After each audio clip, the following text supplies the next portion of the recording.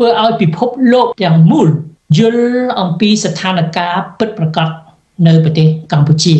របបហ៊ុនសែនគឺតែងតែលាក់បាំងលាក់បាំងការពិតអំពើទុច្ចរិតអំពើអក្រិតរបស់អ្នកដែលនៅជុំវិញលោកហ៊ុនសែនតែឥឡូវនេះយើងឃើញថាมันអាចលាក់បាំងទេ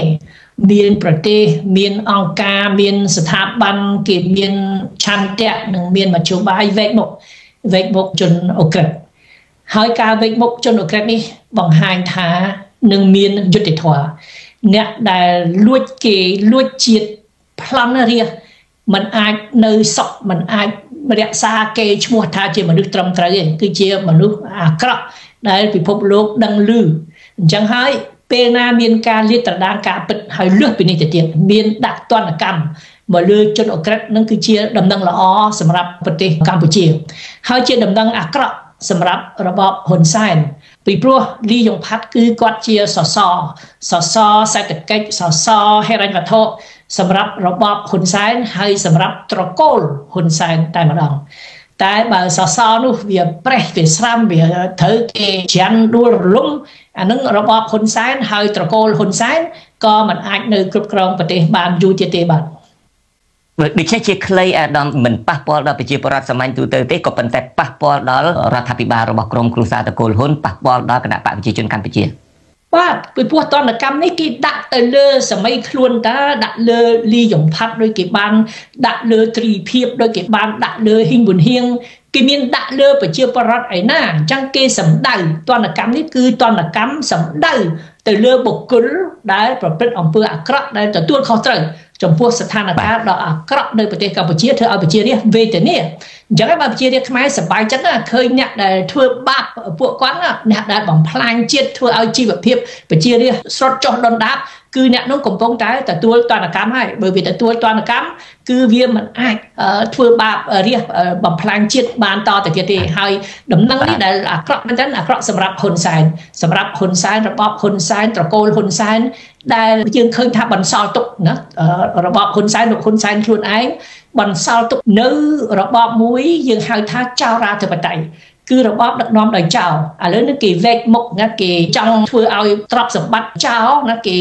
គេរឹបអូសគេឈានទៅរឹបអូសទ្រព្យសម្បត្តិចោលឥឡូវនេះគាត់ទៅបានតកូនចោលជុំវិញហ៊ុនសែនទេប៉ិនបើពេលណាដែលគេសម្គាល់គេសម្ដៅគេដាក់ទណ្ឌកម្មទៅលើកូនចៅអ្នកបពពួកហ៊ុនសែនជុំវិញហ៊ុនសែនហ្នឹងឥឡូវ5 6នាក់ហើយអញ្ចឹងមានន័យថាហ៊ុនសែនខ្លួនឯងហ្នឹងតកូលហ៊ុនហ្នឹងដូចលោកហ៊ុនម៉ាណែតប្រពន្ធគាត់នោះជាអ្នករកស៊ីឥឡូវស៊ើបអង្កេតមើលប្រពន្ធហ៊ុនម៉ាណែត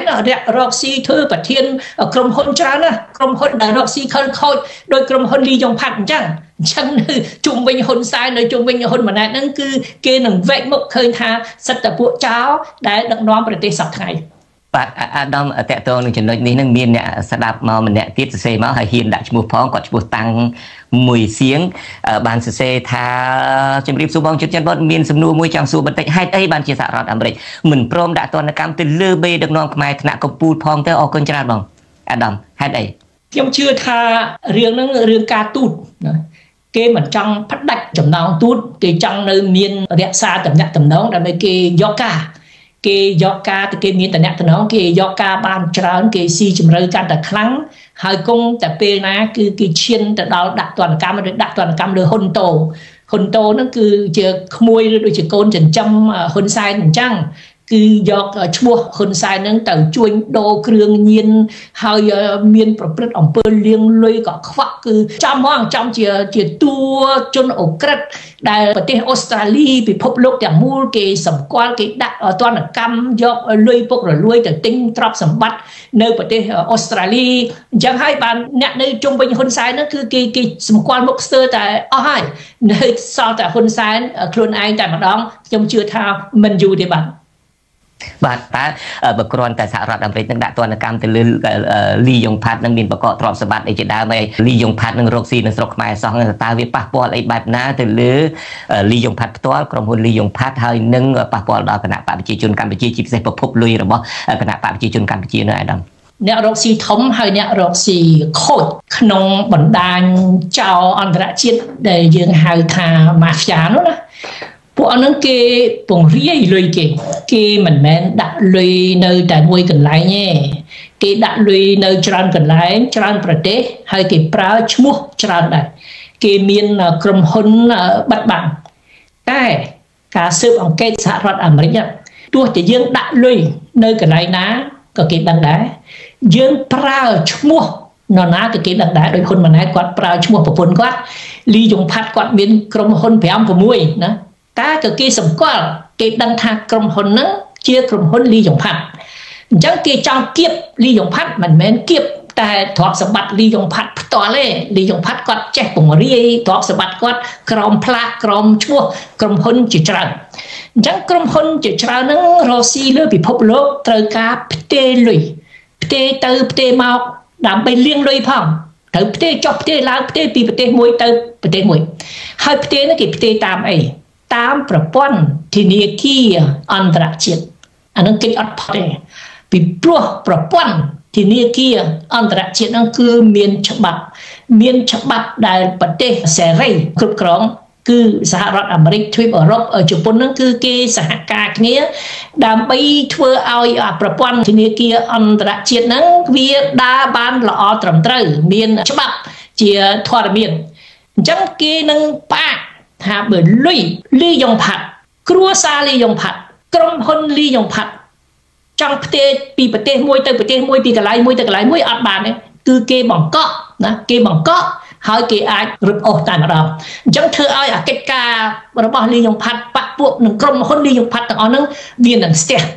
លីយ៉ុងផាត់ស្ទើរតែអស់ខ្យល់ដកហើយនិយាយទៅនោះពីព្រោះបើលុយយើងមិនអាចផ្ទេរបានយើងមិនអាចប្រើប្រាស់បានអាលុយហ្នឹងបានការអី អញ្ចឹងអាលុយលីយ៉ុងផាត់ដែលធ្លាប់ជួយគណៈបកប្រជាជនកម្ពុជានឹងខ្ញុំថាគាត់ជាសសរសេដ្ឋកិច្ចសសរហិរញ្ញវត្ថុសម្រាប់គណៈបកប្រជាជនកម្ពុជាមិនមែនគណៈបកប្រជាជនកម្ពុជាទាំងមូលទេណាគណៈបកប្រជាជនកម្ពុជាដែលគ្រប់គ្រងមួយផ្នែកនៃគណៈបកប្រជាជនកម្ពុជាដោយត្រកូលហ៊ុនហើយជួយត្រកូលហ៊ុនសែនតែម្ដងអញ្ចឹងសសរមួយដ៏ធំសម្រាប់ត្រកូលហ៊ុនណាគឺសសរហ្នឹងគឺនឹងដួលរលំហើយសសរហ្នឹងវាចាប់ផ្ដើមប្រេះស្រាំហើយបើសសរហ្នឹងដួលរលំមកពេលណា របបហ៊ុនសែនបពពួកហ៊ុនសែនដែលរស់ដោយសារការចិញ្ចឹមមួយផ្នែកធំពីលីញងផាត់ហ្នឹងក៏ពួកហ្នឹងក៏បាត់បង់ប្រាក់ចំណូលតាមហ្នឹងហើយបើបាត់បង់ប្រាក់ចំណូលតាមហ្នឹង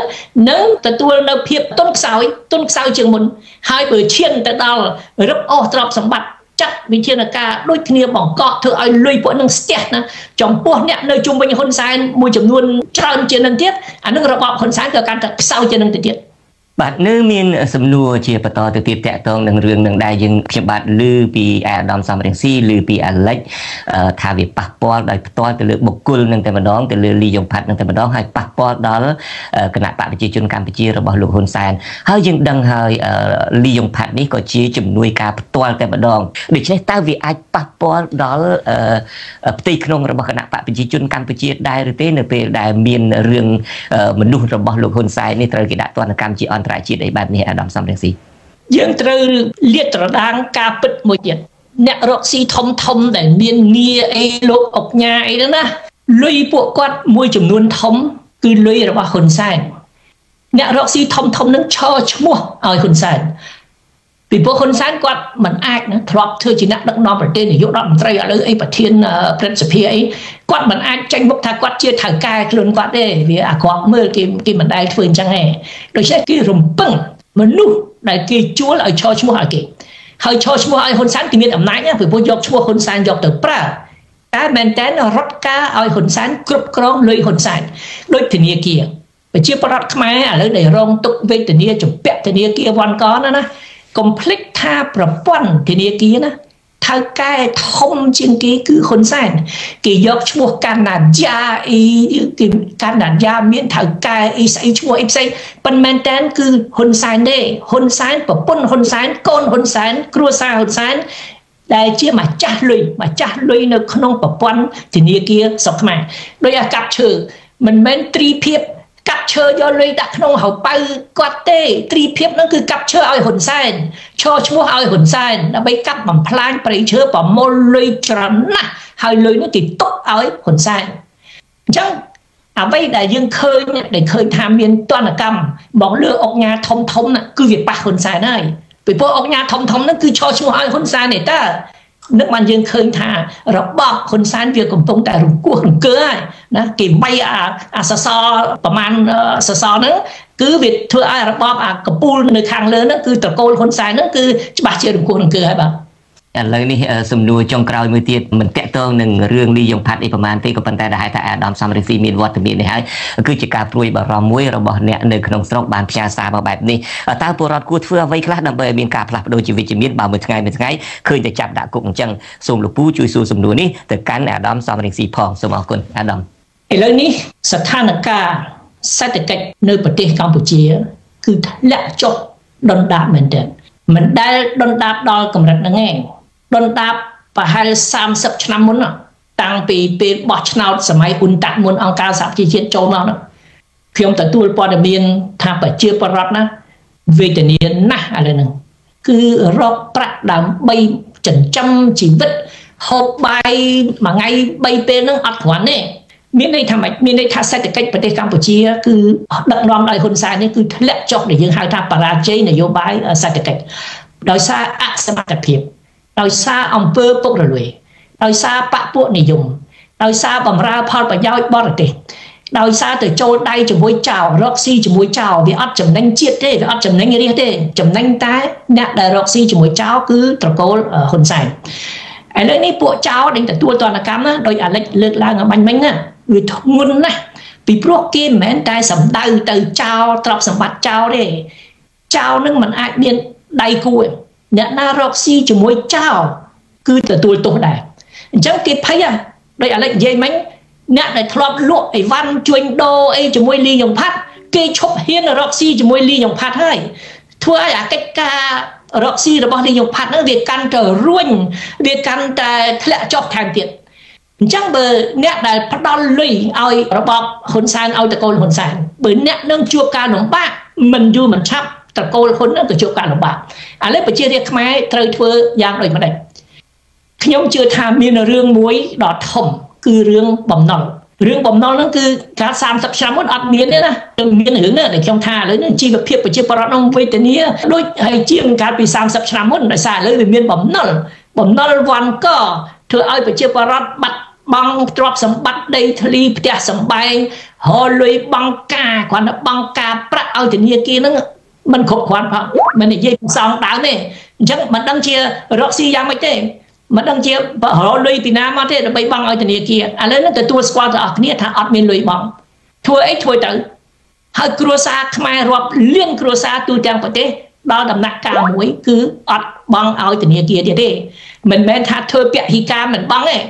ស្ថានភាពជាក់ស្ដែងគឺมันអាចបង់បានឲ្យយកលុយពីណាធ្វើអីធ្វើទៅ ទៅរឹបអូសរឹបអូសទៅតែរឹបអូសយកដីផ្ទះសម្បែងប្រជាប្រដ្ឋមិនដឹងជាលក់ឲ្យនរណាដែរវាគ្រាន់គ្រប់តែគ្នាហ្នឹង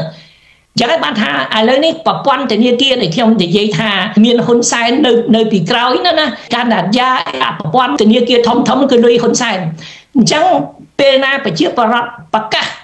ហើយទាំងអស់គ្នាទទួលស្គាល់ការពិតថាអត់មានលុយបង់ឲ្យធនាគារធនាគារនឹងនៅដួលរលំហើយប្រព័ន្ធធនាគារនៅប្រទេសកម្ពុជានឹងដួលរលំ ពេលណាប្រជាប្រដ្ឋប្រកាសឲ្យទាំងអស់គ្នាទទួលស្គាល់ថាប្រជាប្រដ្ឋអត់មានលុយសងធនាគារទេអញ្ចឹងប្រព័ន្ធធនាគារនឹងដួលរលំ បើប្រព័ន្ធធនាគារនឹងដួលរលំគឺសេដ្ឋកិច្ចក្រោមការដឹកនាំរបស់ហ៊ុនសែននឹងដួលរលំហើយបើសេដ្ឋកិច្ចក្រោមការដឹកនាំរបស់ហ៊ុនសែននឹងដួលរលំរបបហ៊ុនសែននឹងក៏ដួលរលំដែរអញ្ចឹងយើងអាចតស៊ូដោយសន្តិវិធីអត់ចាំបាច់ធ្វើបាតកម្មអត់ចាំបាច់ធ្វើអីច្រើនទេយើងប្រកាសការពិតថាឥឡូវអត់មានលុយបង់ឲ្យធនាគារទេធ្វើអីធ្វើទៅគ្រាន់តែប្រកាសប៉ុណ្្នឹងឆោឡោពីព្រោះសេដ្ឋកិច្ចណាចិត្តសាស្ត្រសំខាន់ណាតែគេដឹងថាចរន្តនឹងចិត្តលួលរលំណា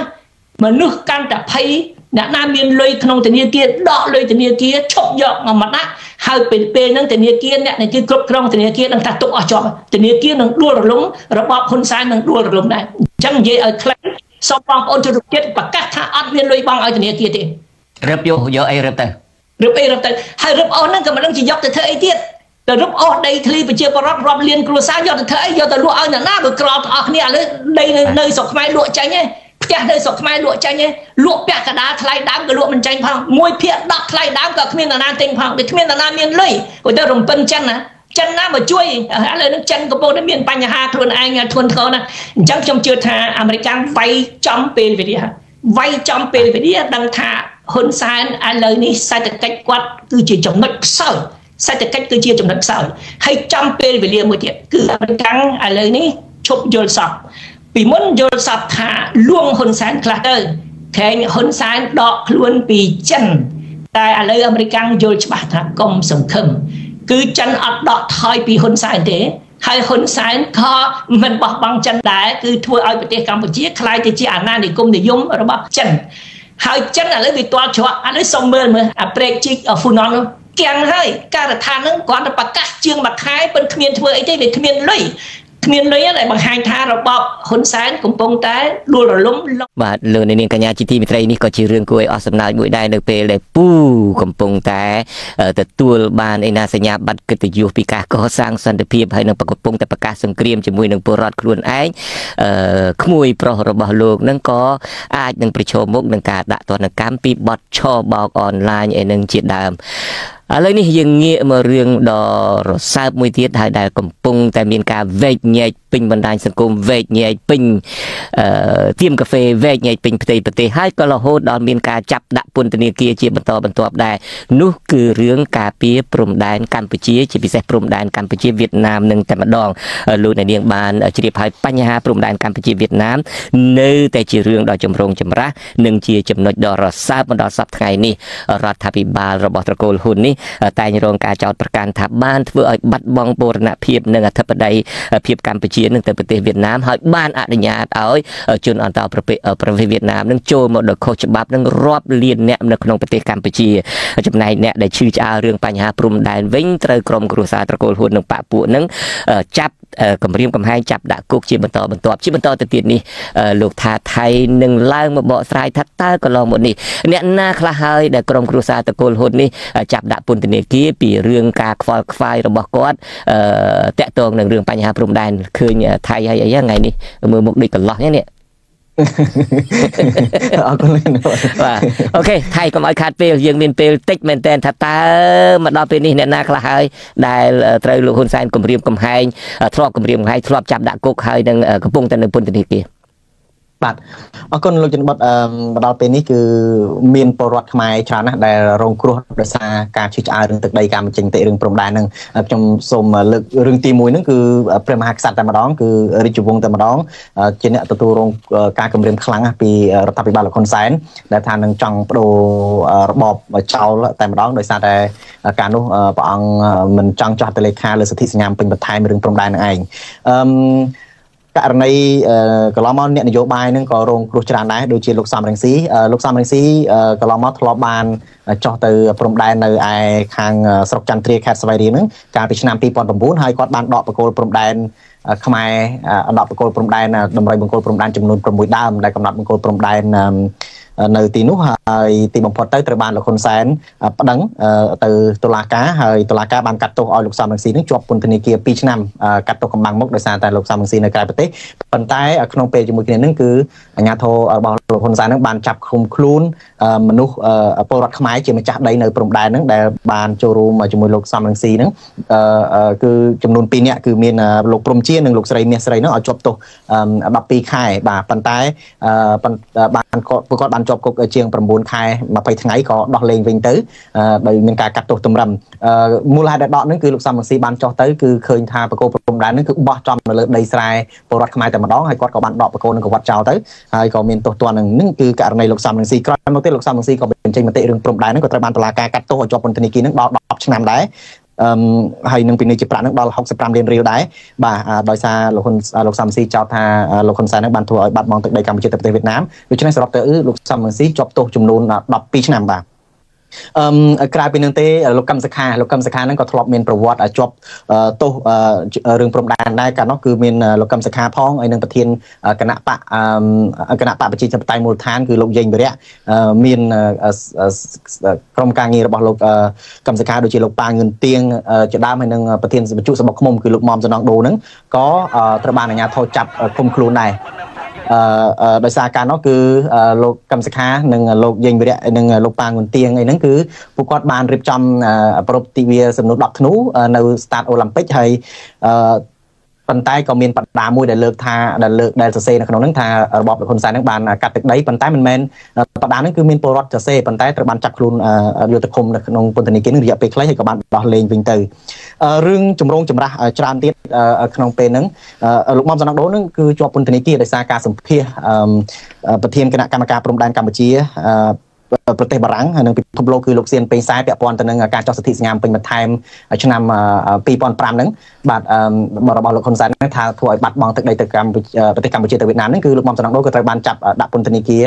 ដែរដោយសារសភានៅក្នុងវិទ្យុហ្នឹងហើយចំណែកឯប្រធានគណៈកម្មការព្រំដែនកម្ពុជាប្រទេសបារាំងនិងពិភពលោកគឺលោកសៀនពេញខ្សែហ្នឹងក៏មានការតាមចាប់ខ្លួនដែរបាទអឺ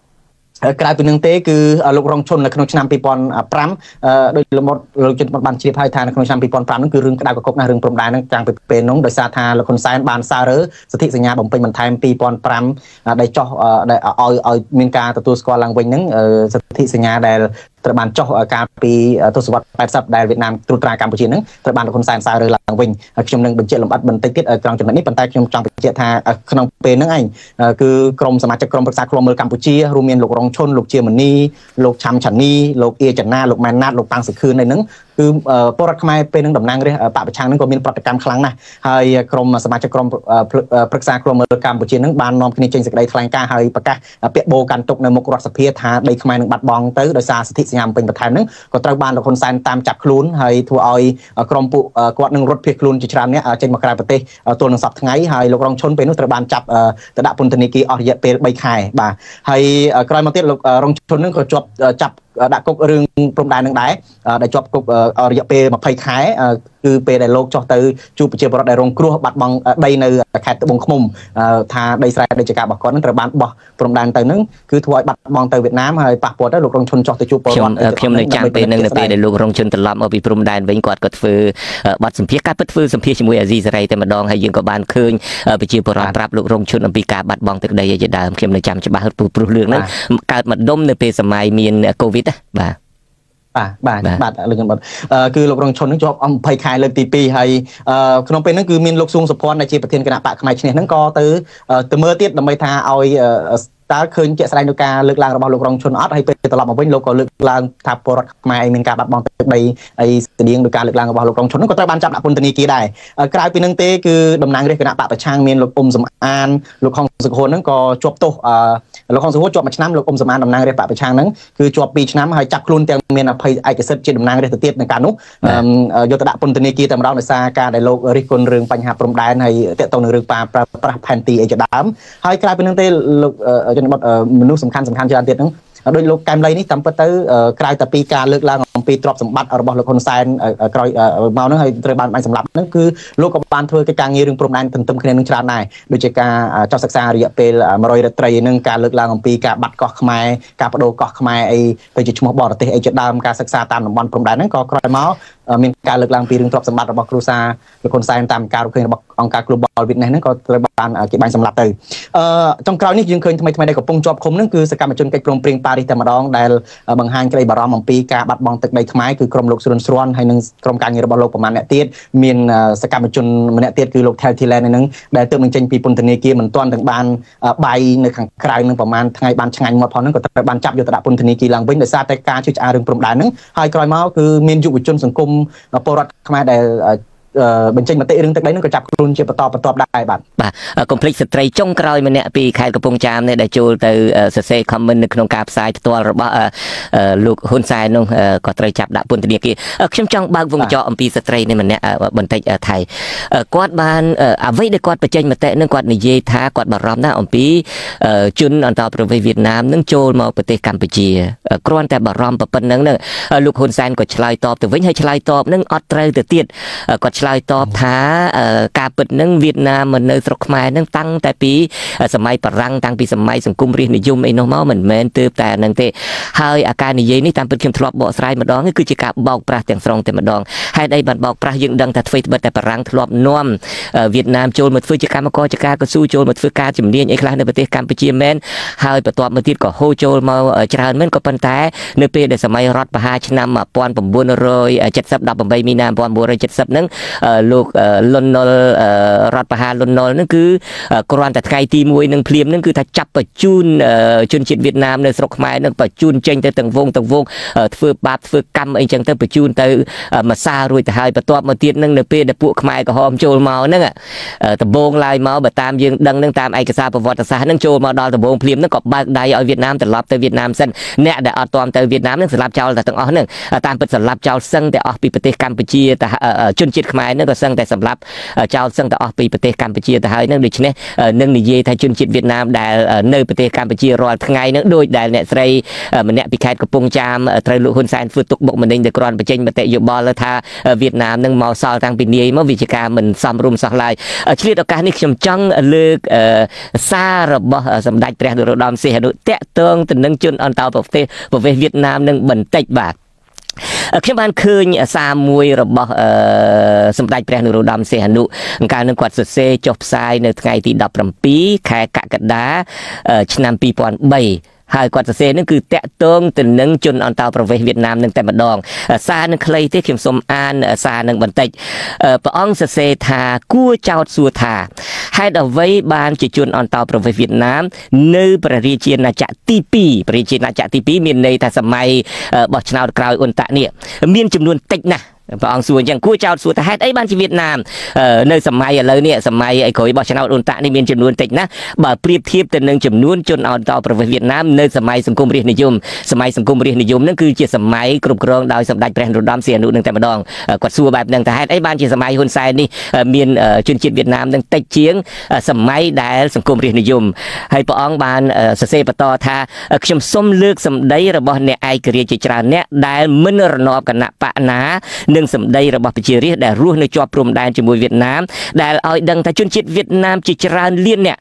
បានមករស់នៅពីពេញក្នុងព្រះរាជាណាចក្រទី2ចំពោះបញ្ហានេះខ្ញុំមិនហ៊ានអាកាត់ទេ អំពីចំនួនខាងលើត្បិតខ្ញុំគ្មានអំណាចគ្មានមធ្យោបាយនឹងធ្វើស្ថិតិជំរឿនជនជាតិវៀតណាមក៏ប៉ុន្តែតាមមតិស្ដួចស្ដៅរបស់ខ្ញុំចំនួនជនជាតិវៀតណាមមានតិចគឺមកពីហេតុផលនេះហើយព្រះអង្គបានលើកហេតុផល4ដែលថាហេតុអីបានជានៅសម័យលោកហ៊ុនសែននេះ សម័យក្រោយបោះឆ្នោតអ៊ុនតាក់នេះរាជាណាចក្រទី2នេះមានចំនួនជនជាតិវៀតណាមនឹងតិចជាងនឹងគាត់លើកហេតុផល4នេះសម្ដេចនេះសម្ដេចព្រះរំដំសៀនុហេតុផលទី1មកពីអ្នកមានអំណាចគ្មានចំណងធ្វើស្ថិតិជំរឿនជនជាតិវៀតណាមអត់មានចំណងធ្វើស្ថិតិទេមកប្រមាណក៏មកទៅទី2ជនជាតិវៀតណាមដែលចូលមកបរិជាណាចក្រទី2នេះទទួលជាស្វ័យប្រវត្តិនៅសញ្ជាតិខ្មែរព្រមទាំងមានសិទ្ធិបោះឆ្នោតថែមទៀតផង ទី3ព្រះអង្គសរសេរបន្តថាខ្ញុំបានសរសេរអត្ថបទសម្រាប់ប្រវត្តិសាស្ត្រនៅរាជធានីប៉េកាំងនាពេលថ្មីថ្មីនេះថាជនជាតិវៀតណាមសពថ្ងៃនេះនៅកម្ពុជា មានតែស្ថានឯកអគ្គរដ្ឋរដ្ឋទូតសាធារណរដ្ឋសង្គមនិយមវៀតណាមទេត្បិតគាត់ជាតំណាងសាធារណរដ្ឋសង្គមនិយមវៀតណាមហើយពុំអាចធ្វើជាជនជាតិខ្មែរបានព្រះអង្គសរសេរអញ្ចឹងថាការពិតនឹងជនជាតិវៀតណាមនៅស្រុកខ្មែរនឹងមានតែឯករដ្ឋទូតនឹងហ្មងបានជាជនជាតិវៀតណាមពីព្រោះគាត់អត់អាចធ្វើជាជនជាតិខ្មែរបានក្រៅពីហ្នឹងគឺជនជាតិខ្មែរទាំងអស់ ទី4ព្រះអង្គសរសេរថាជនរួមជាតិដែលបានទៅដល់ព្រំដែនហើយអ្នកស្រុកដែលរស់នៅភូមិជាប់ជាមួយវៀតណាមនិយាយថានៅសម័យសង្គមរាស្ត្រនិយមមានស្រុកភូមិជាច្រើនដែលជាប់ព្រំដែនកម្ពុជាវៀតណាមដែលឥឡូវស្រុកភូមិទាំងនោះបានคล้ายជាកម្មសិទ្ធិរបស់វៀតណាមហើយកងទ័ពគេបានបោះទីតាំងការពារយ៉ាងរឹងមាំជនជាតិខ្មែរដែលរស់នៅភូមិខាងលើមានផ្លូវតែមួយគត់ គឺត្រូវរត់ចោលស្រុកកំណើតរបស់ខ្លួនឬคลายជាជនជាតិដើមភាគតិចរស់នៅលើស្រុកកំណើតរបស់ខ្លួននេះគឺជាការអឺមើលឃើញជាទស្សនៈរបស់សម្ដេចព្រះនរោត្តមសីហនុហើយបើសិនជាសម្ដេចព្រះនរោត្តមសីហនុនឹងនៅមានជីវិតប្រហែលជាត្រូវជាប់ពន្ធនាគាររបស់លោកហ៊ុនសែនទៀតពីព្រោះតែហ៊ានតបបាពីរឿងព្រំដែនបាទ អឺតាមពិតនៅសម័យលោកហ៊ុនសែននេះតាំងពីគាត់ធ្វើជារដ្ឋមន្ត្រីក្រសួងការបរទេសអីនឹងជាដើមនឹងក៏បានធ្វើច្បាប់ធ្វើអីនឹងច្រើនណាស់ដែលធ្វើឲ្យគេចោទថាច្បាប់ទាំងឡាយដែលលោកបានចុះហត្ថលេខាជាមួយភៀកគីវៀតណាមរបស់គាត់នឹងបានធ្វើឲ្យបាត់បង់ទឹកដីមានច្បាប់ខ្លះនឹងគឺជួយសម្រួលឲ្យជនជាតិវៀតណាមនឹងមករស់នៅទឹកដីខ្មែរនឹងបានដោយស្រួលឲ្យមានការការពារអីជាដើមរហូតដល់តែឲ្យដីនឹងប្រមាណរាប់សិបរាប់រយរាប់ពាន់ហិកតាអីទៅឲ្យជនជាតិវៀតណាមផងហើយខ្ញុំដឹងថាថៃក៏ត្រៀមខ្លួនច្រើនណាស់ក៏ប៉ុន្តែយើងទុកសម្រាប់ថ្ងៃប្រហោះសប្តាហ៍ក្រោយចុះដើម្បីជជែកគ្នាពីបញ្ហានេះដែលហេតុថាម៉ោងពេលឱកាសនេះក៏ចាប់ត្រឹមនេះថាអរគុណថៃដែលបានរៀបរាប់ពីអ្នកណាខ្លះដែលធ្លាប់បានត្រូវលោកនាយករដ្ឋមន្ត្រីហ៊ុនសែនអតីតនាយករដ្ឋមន្ត្រីហ៊ុនសែនហើយនឹងឪនាយករដ្ឋមន្ត្រីហ៊ុនសែនពេលនេះនឹងបានចាប់ដាក់ពន្ធនាគារហើយនឹងបន្តចាប់ដាក់ពន្ធនាគារជាបន្តបន្ទាប់ទៅនេះដូច្នេះយើងនឹងជួបគ្នារឿងនឹងទៀតហើយថៃនឹងឡើងបកស្រាយអំពីថាតើហេតុអីបាន